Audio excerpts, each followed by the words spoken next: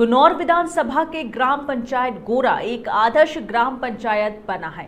यहाँ सभी 12 वार्ड निर्विरोध निर्वाचित किए गए और सरपंच को भी निर्विरोध निर्वाचन किया गया है। इस गाँव में पंच और सरपंचों के बीच कोई भी प्रतिद्वंदी नहीं है। पंचायत की राजनीति में विगत कई वर्षों से हम सब सक्रिय हैं और पूर्व में मेरी माताजी भी सरपंच थी।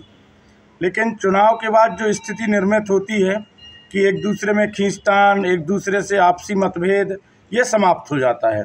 तो इस बार हम सबने बैठ के ये निर्णय लिया कि क्यों ना इन सब चीज़ों को, विरोध को, ये गतिरोधों को समाप्त करके गाँव के विकास के लिए और अपने गाँव के, अपनी पंचायत का एक जो नाम है उसको ऊपर उठाने के लिए और हम सब ये प्रयास करें कि पूरा गाँव एक होके एक व्यक्ति के लिए सब साथ में खड़े हों।